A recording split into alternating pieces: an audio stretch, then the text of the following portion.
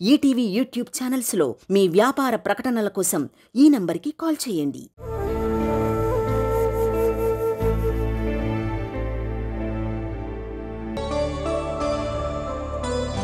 పెళ్ళి నిశ్చయం చేయబోతున్నట్టు అమ్మా నాన్న వాళ్ళ బంధువులు కూడా చెప్పాల్సింది. ముందు ఇవాల్టి పనిని అవ్వనివ్వు. ఆ తర్వాత బంధువులకి చెప్పుకోవచ్చులే. అదేమిటే? నీకు నచ్చినట్టు మాట్లాడుతున్నావు? ఇన్నాళ్ళు సూరజ్ ఫ్యామిలీ వాళ్ళు మన ఇంటికి రాలేదన్న టెన్షన్ ఉండేది. వాళ్ళు పెళ్ళి ఫిక్స్ చేయడానికి వస్తున్నారని తెలియగానే ఒళ్ళంతా నాకు వణుకు పుడుతుంది. ముందు నీ ఈ పద్ధతిని మార్చుకోవాలి. దేనికి చూసినా భయపడతావు. ఎవరైనా కళ్ళూరువి చూస్తే చాలు వెంటనే ఏడ్చేస్తావు ఇలాంటి మనస్తత్వం ఉంటే కుటుంబాన్ని నువ్వు ఎలా నడపగలవు? అన్నయ్య ఉండుంటే నాకు ధైర్యంగా ఉండేది. హరి పెళ్ళికి వస్తాడా తెలీదక్కా. నీకు మా నాన్న గురించి తెలుసుగా? ఏది కరెక్ట్గా చెప్పరు. ఏదైనా అడిగితే కోప్పడతారు. పెద్ద మనిషి కదా అప్పుడప్పుడు చూపించుకోకపోతే ఎలా? నాన్న ఏం చెప్తే అది అమ్మకి వేదవాక్కు. సూరజ్ ఫ్యామిలీ వాళ్ళతో నాన్న ఏం మాట్లాడతారోనని భయంగా ఉందక్కా. అసలే సూరజ్ వాళ్ళ నాన్న ఇంకొక టైప్. ఆ విషయం తెలిసే మా ఆయన నన్ను ఇక్కడికి పంపించింది. ఈరోజు ఆయన చిన్నమ్మ కూతురు రజనీకి పెళ్ళి మేమిద్దరం కలిసి వెళ్ళాల్సింది ఇద్దరు ఖచ్చితంగా రావాలని ఇంటికొచ్చి చెప్పారు. నువ్వొచ్చిన తర్వాతే నాకు కాస్త మనశ్శాంతిగా ఉంది. వాళ్ళకేం పెడదాం? మధ్యాహ్న భోజనం అరేంజ్ చేశాం. అది కాదే తల్లి. కట్నం ఏమిస్తున్నారని. అదంతా నాన్నగా డిసైడ్ అవ్వాలి. హ్మ్, నాన్న నిర్ణయించటం అయితే ఈ పెళ్ళి అస్సలు జరగదు. సొంతంగా ఒక పెట్రోల్ బంక్ పెద్ద ఇళ్ళు పొలాలు ఉన్న రమేష్ గారి ఏకైక పుత్రుడు. అద్దిళ్ళలో ఉన్న నిన్ను కట్నమే లేకుండా పెళ్ళి చేసుకుంటాడని అనుకుంటున్నావా? ఏమిటక్కా నువ్వు? ఏదో ఒకటి మాట్లాడి టెన్షన్ చేస్తున్నావు. డబ్బు రూపంగా అడగకపోయినా పెళ్ళి కూతురికి కనీసం వంద సెవర్లైనా బంగారం వేయమంటారు. అలా కాకపోతే కట్నమే అక్కర్లేదని సూరజ్తో నువ్వే చెప్పించాలి. అక్కడే నీ తెలివి చూపించు. వాళ్ళేం అడగర్లే. అడక్కపోతే నీ అదృష్టం. ఆ ఇంకో విషయం. నిశ్చయం చేసిన తర్వాత పెళ్ళి ఎక్కువ దూరం పొడిగించొద్దని సూరజ్తో నువ్వే చెప్పు సరేనా? ముహూర్తం ఎంత తొందరగా ఉంటే అంత మంచిది. లేకపోతే పెళ్ళాపటానికి చాలామంది వెయిట్ చేస్తూ ఉంటారు.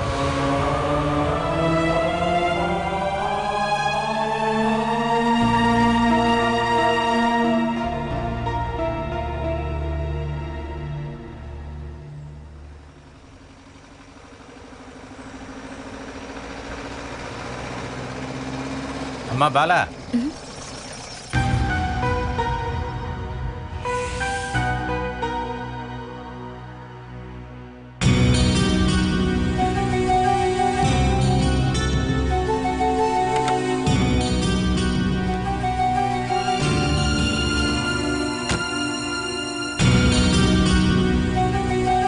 ఇంటికే కదా? నేను డ్రాప్ చేస్తానులే. రండి. వదిలే పెద్దనాన్న మేం నడిచి వెళ్ళిపోతాం. నా కారు ఎక్కటం ఇష్టం లేదా? లేకపోతే మార్నింగ్ వాక్ డిస్టర్బ్ అవుతుందని వద్దని అంటున్నావా మాలాంటి మనుషులకి మార్నింగ్ వాక్ ఏముంటుంది? నువ్వెందుకు తక్కువ చేసి మాట్లాడుతున్నావు? రాయుడు కుటుంబం వాళ్ళు పాత జమీందారులే. నిజం చెప్పాలంటే మన పూర్వీకుల కాలంలో హత్య చేయడానికి కూడా అధికారం ఉన్న కుటుంబమే మనది. ఇప్పుడు మాటలతో చంపుతున్నారు అవునా? అది ఇంత పెద్ద కుటుంబంలో తోడబుట్టిన వాళ్ళే ఒకరు ఇంకొకరి మీద తప్పుడు కేసు వేస్తున్నారు. మూడో వ్యక్తి ఏమీ తెలియనట్టు సపోర్ట్ చేస్తున్నారు. ఎవ్వరూ చూడటం లేదు కదా అని కళ్ళు మూసుకొని పిల్లి పాలు తాగుతున్నట్టుంది. ఏంటి జయ నువ్వేదో మనసులో పెట్టుకుని మాట్లాడుతున్నావు? ఇంకా ఇలా మాట్లాడటంలో నీకు మంచి టాలెంట్ ఉందనుకుంటా. మీ నాన్నకున్న అదే గుణం. ఆ విషయంలో మీరు కూడా ఏం తక్కువేం కాదుగా. లేకపోతే సొంతింటిని వదిలేసుకుని అద్దింట్లో ఉంటున్న వాళ్ళతో మీరు ఇలా మాట్లాడతారా? ఇల్లు అమ్మాల్సి వచ్చిందంటే మీ నాన్నకి టాలెంట్ లేకపోవడం వల్ల దానికి ఇంకొకటి ఎందుకు తప్పు చెప్పటం? రెండో కొడుకని చెప్పి ఇల్లుని ఫ్యాక్టరీని అన్నిటినీ తాతయ్య ఆయన ఇష్టానికి జయచంద్రనికే ఇచ్చాడు. తాతయ్య దోచిచ్చిన కథలన్నీ మాకు కూడా తెలుసులే పెద్దనా ఒక్కొక్కరు ఏడ్చి కష్టాలు చెప్పుకొని లాగాల్సింది మొత్తం లాగేశారు. ఇంకా వీటి మధ్యలో చిన్న కొడుకు దొరికింది. విరిగి పడబోయే ఇల్లు తల్లిదండ్రులను చూసుకునే బాధ్యత. ఆ మనిషి మీదే కదా మీరు తప్పుడు కేసు వేశారు? మీరా? అంటే నేను కూడా లతికాతో కలిసిపోయానని చెప్పి నువ్వు అంటున్నావా? వాళ్ళతో కలవక్కర్లేదు. వెనకే ఉండి సపోర్ట్ చేస్తున్నారుగా. లాభంలో ఒక షేర్ కూడా దొరుకుతుంది. ఇంతేనా జయ? మీరందరూ నా గురించి అర్థం చేసుకుంది? మీ నాన్నేనా ఇలాగంతా మీకు చెప్పింది. ఒక్కొక్కటి చూశాక మేం కూడా అర్థం చేసుకునే వయసు వచ్చింది కదా. అసలు మీరేం తెలుసుకున్నారని? మీ పెద్దనాన్న ద్రోహేనా నాకు ఆశ ఎక్కువనా? లేకపోతే మీ శత్రువుగా నన్ను భావిస్తున్నారా? ఆ, మీ అందరినీ నేను సొంత బిడ్డలాగే చూశాను. నాన్నకిచ్చే మర్యాదే ఈ పెద్దనాన్నకు కూడా ఇచ్చాం. తల్లి స్థానం అత్తయ్యకి కూడా మేమిచ్చాం. చివరికి ఏం జరిగింది? అదంతా శశిధర్ క్రిమినల్ మైండే. నన్ను శశిధరన్ని ఒకే తరాసులో పెట్టి మీరు చూడొద్దు. ఎవరు ఎక్కువ వెయిట్ అనేదే అనుమానం. ఇదే మీ దగ్గరున్న ప్రాబ్లం. గుండె చీల్చి చూపించిన మీరు అస్సలు నమ్మరు. మనం బయలుదేరదామక్క. ఇవన్నీ రోడ్ల నుంచి మాట్లాడే విషయాలు కాదుగా. అవును. అందుకే నేను ఇంటికి వద్దామని అనుకున్నాను. జయచందర్తో నేను కొన్ని విషయాలు మాట్లాడాలి. ఏదో ఒకటి చెప్పి మా నాన్నని టెన్షన్ పెట్టొద్దు. ఆయన ఇంకా పూర్తిగా కోలుకోలేదు. అదంతా నాకు తెలీదా బాల? నేనిప్పుడు మీ నాన్నతో గొడవ పెట్టుకుంటానికి వెళ్ళట్లేదు. రండి వచ్చి బండి ఎక్కండి. వద్దు పెద్దనాన్న మేము నడిచే వెళ్తాం. నా మీద అంత కోపం ఉందా నీకు? మీ మీద మాకెందుకు పెద్దనాన్న కోపం? మేమిద్దరం ఏదో మాటలు చెప్పుకుంటూ నడిచి వెళ్తాం. సరే. మీకు అదే ఇష్టం అంటే అలాగే చేయండి.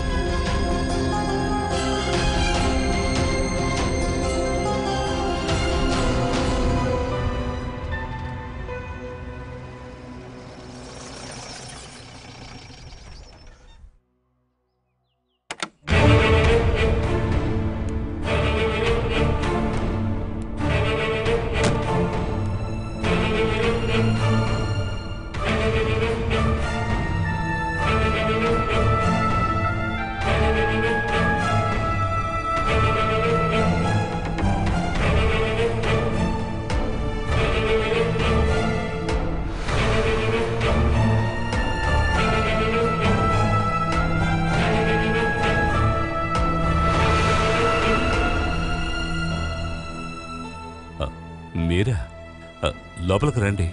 రావచ్చుగా? లేకపోతే బయట వాళ్ళు రాకూడదని ఏదైనా రాసి పెట్టావా? బయట వాళ్ళ? మీరు నాకు బయట వాళ్ళ? నేనేమనుకున్నానంటే ఈ మురళీధర్ మీ అన్న అన్న విషయాన్ని నువ్వు మర్చిపోయి ఉంటావని.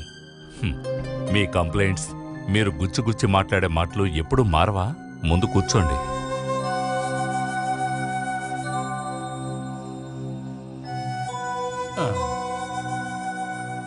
నేను మాట్లాడాల్సిన ప్లేసులో మాట్లాడతాను. నన్ను అవమానించాలి అనుకున్న వాళ్ళని అస్సలు వదిలిపెట్టను. అవమానించాలనుకునే వాళ్ళ ఎవరు? నేనా? ఈ ఇంటికి హెడ్ ఇంకా నువ్వే కదా జయచంద్ర. లేకపోతే ఆ స్థానం మీ భార్యా బిడ్డలకేమైనా ఇచ్చావా? మీరేం చెప్పదలుచుకున్నారో ఓపెన్గా చెప్పండి.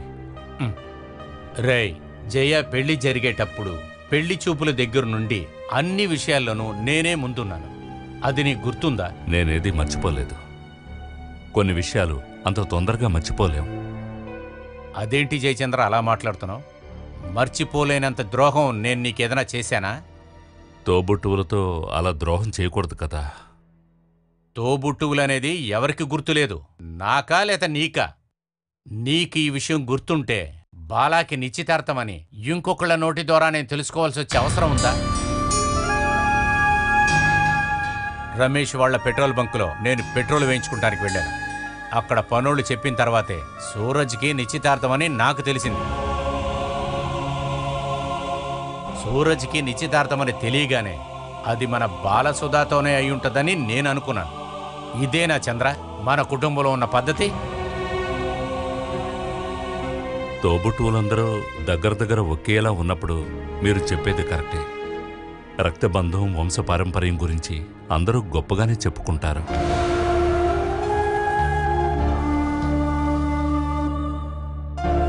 తోటి మనిషి స్థానం ఒక అడుగు కింద ఉంటే వెళ్ళేటప్పుడు చెప్పడానికి కూడా పైన ఉన్నవాళ్ళు ఆలోచిస్తారు.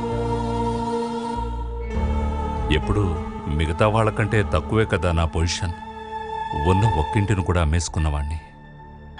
తోడబుట్టిన వాళ్ళు కూడా నాతో ఉన్న బంధాన్ని కట్ చేయాలనుకుంటున్నారని కూడా తెలుసు. నన్ను కూడా నువ్వు అలాగే అనుకుంటున్నావా జయ?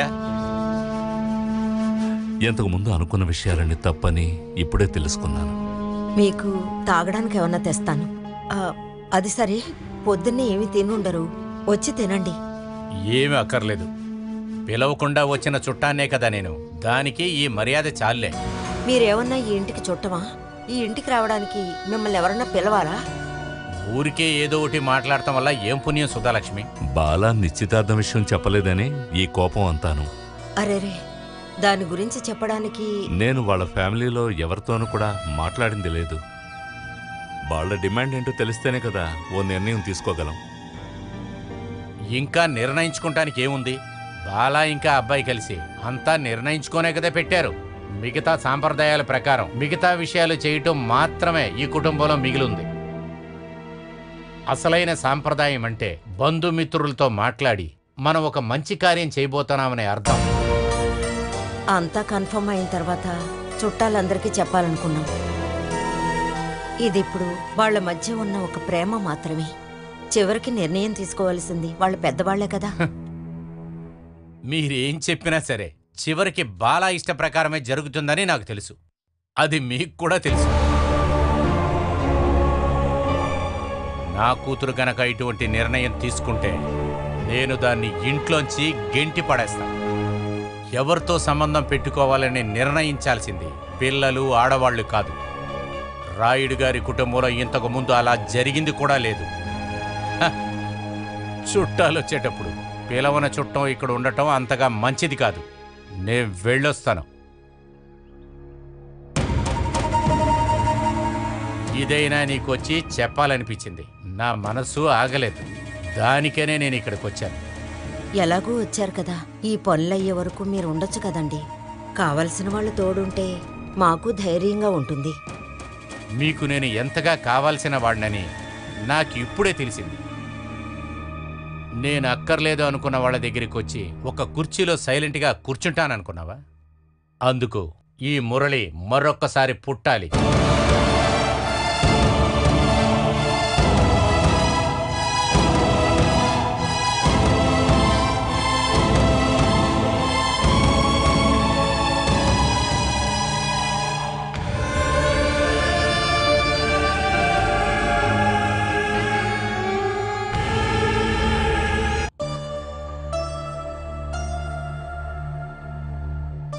అమ్మా ప్రసాదం తీసుకో. ఆ. ఉమ్.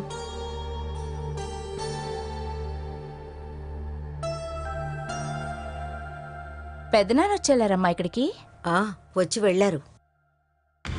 అతను వచ్చిందే నన్ను తిట్టడానికి. ఆ పని అయిపోగానే బయలుదేరాడు. మిమ్మల్ని తిట్టారా?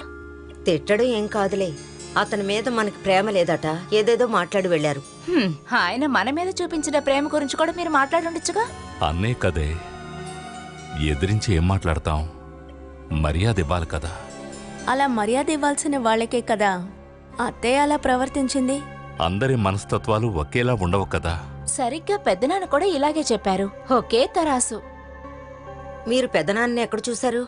ఇందాకే గుడి నుంచి వచ్చే దారిలో.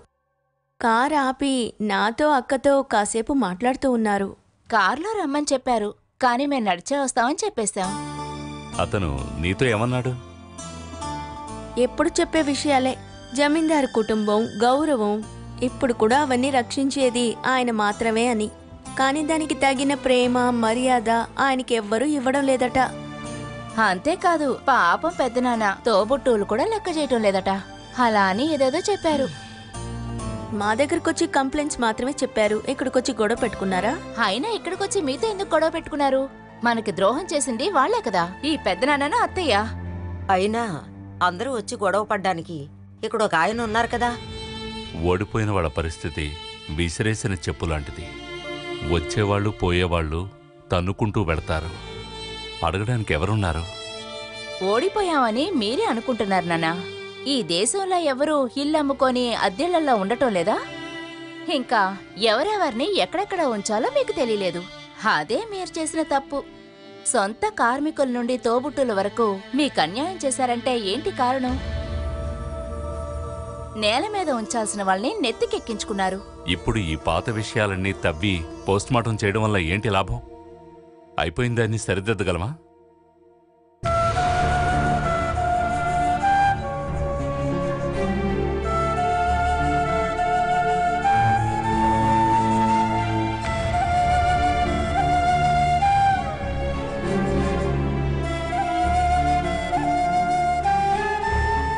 అది సరే. మీరింకా రెడీ కాలేదా? ఆయన గుణం మీకు తెలియంది కాదు కదా. ఇంత ఉంటే చాలు పెద్ద చేసే సమస్యగా మారుస్తాడు. ఒక విధంగా చూస్తే ఇప్పుడు వచ్చి వెళ్ళడం మంచిదే. సూరజ్ వాళ్ళ బంధువులు అందరూ వచ్చుంటే అవమానపడేవాళ్ళం అవమానించబడ్డానికి నేనేమైనా మా అన్నయ్య ఆస్తిని దోచుకున్నానంటావా? అంతేకాదు అతని అవసరాలు చెప్పుకొని ఒక్కొక్కటి తీసుకువెళ్ళడమే గాని ఎప్పుడైనా మనకి సాయం చేశాడా? ఇప్పుడు పెళ్ళి విషయం చెప్పకపోవడం పెద్ద అవమానమట. ఇన్ని రోజులు మన వైపు తిరిగి చూడని వాళ్ళు ఇకపై కూడా వద్దు. ఈ కోపం అంతా తగ్గిన తర్వాత ఆయన వస్తాడు చూడండి. రావాల్సిన అవసరమేం లేదు. మీ ఇష్టం. వద్దంటే వద్దు. ఒక శుభకార్యం జరిగేటప్పుడు ఎవరి మీద అంత కోపం ఉండకూడదు.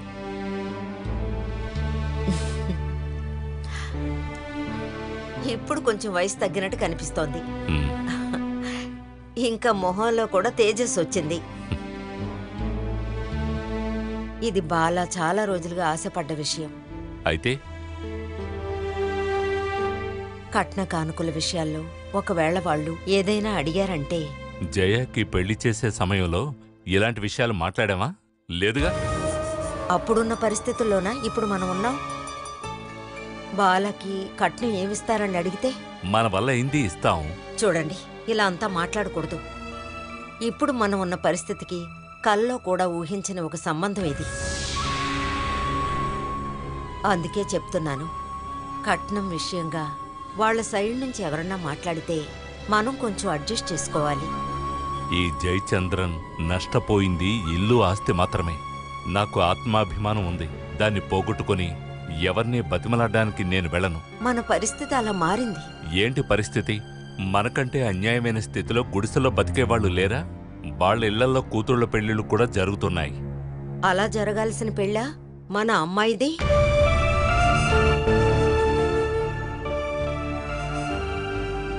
అంతా మనం నిర్ణయించుకున్నట్టు జరుగుంటే ఎంత బాగుండేది? బిజినెస్ లాస్ అవ్వగానే ఫ్యాక్టరీ మూసేసి జైలు శిక్ష అనుభవించి ఇప్పుడు ఈ అద్దెంట్లో జీవించడం మనం కోరుకున్నావా అంతటితో అన్ని సమస్యలు అయిపోయాయి అనేసరికి ఓ కత్తి తీసుకొని నా గుండెల మీద పొడిచాడు ఆ భగవంతుడు. ఆ దెబ్బతో మనసు కూడా ముక్కలైపోయింది. ఇలా అధైర్యపడితే ఎలా? బాల పెళ్ళి జరిగిపోతే మనకి పెద్ద బాధ్యత తీరిపోతుంది. అందుకని వచ్చేవాళ్ళ ముందు నేనేమీ మాట్లాడకుండా తండ్రి స్థానంలో ఓ మూల కూర్చోమంటావా? అంతేనా? అనవసరమైన మాటలు ఎందుకు రెండు కుటుంబాలు కలిసి బాలా సూరజ్ పెళ్ళికి ఒప్పుకున్నప్పుడు ఆర్థికంగా సూరజ్ వాళ్ళ నాన్న కంటే ఒక మెట్టు పైనే ఉన్నాం. కానీ ఇప్పుడు పరిస్థితి అది కాదే.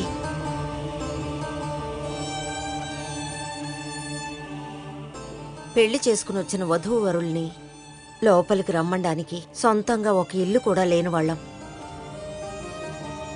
మనం వాళ్ళ ముందు తలెత్తుకుని నించోగలమా?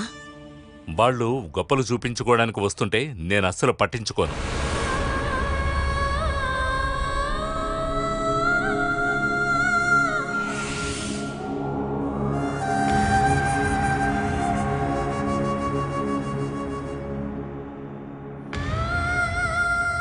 నాన్న ఇవాళ నిశ్చయం చేసుకోవడానికి వస్తున్నారు. సూరజ్ అందుకు పట్టుపట్టాడు అన్ని విషయాల్లోనూ ఆస్తి అంతస్తు కుటుంబ కళాచారం ఇవన్నీ చూసేవారే వాళ్ళ నాన్న. మనం మాట్లాడే ఒక్క మాట కూడా వాళ్ళని బాధ పెట్టకూడదు. ఓ అయితే నేనే ప్రాబ్లం. నేను వాళ్ళ ముందు తలంచుకొని నుంచోవాలి అంతేగా? మీరెందుకు అలా అనుకుంటున్నారు? మీరు ఇంకొకళ్ళ ముందు తలంచుకోవాలని నేనెప్పుడు చెప్పను. కానీ ఉదయం నుండి అన్ని సమస్యలే ఇదంతా చూసేటప్పుడు నాకు చాలా భయంగా ఉంది. నువ్వెందుకు భయపడుతున్నావు? ఈ జమీందార్ జయచంద్రన్ అంత లోతైన గోతులో పడడు. అలా పడినా కూడా ఎవర్నీ సహాయం చేయమని నేను అడగను. ముందే నిర్ణయించుకుని ఏదో గొప్పగా ఈ పెళ్ళి చెయ్యాలని వాళ్ళొస్తే నేను ఇంకొన్ని నిర్ణయాలు తీసుకోవాలి.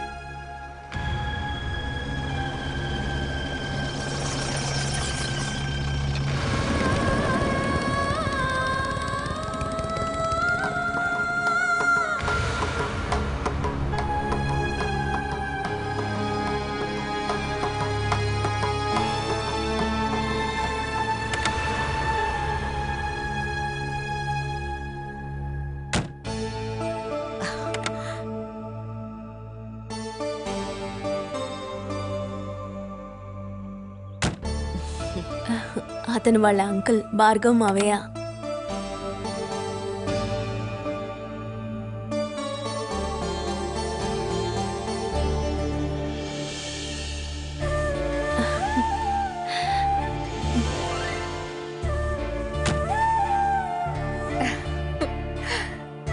చూసావానయ్య నిన్ను చూడగానే తన మొహంలో సూర్యుడే ఉదయించాడు.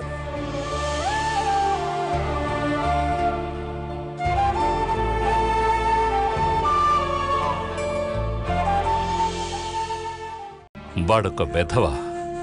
వాడు నా చెల్లెలకి భర్త అవ్వడం వల్ల ఇంకా ప్రాణాలతో తిరుగుతున్నాడు. కానీ అతను ఏం చెప్పాడంటే సొంత బంధువుల్ని మోసం చేసింది అది మీరేనని. రక్త సంబంధాలు ఎవరు? ఇప్పుడు ఇటు తలెత్తి కూడా చూడలేదన్నాడు. ఆ శశిధరన్ ఏదైనా మాట్లాడతాడు. నా మీద కోపంతోనే వాడు అలా మాట్లాడుతున్నాడు అతను మాట్లాడిన దాన్ని బట్టే నేను అర్థం చేసుకున్నాను. వాడొక ద్రోహి అని. అందుకే చెప్తారు. సంబంధం పెట్టుకుంటే గౌరవం సాంప్రదాయం ఉన్న కుటుంబంతో పెట్టుకోవాలి.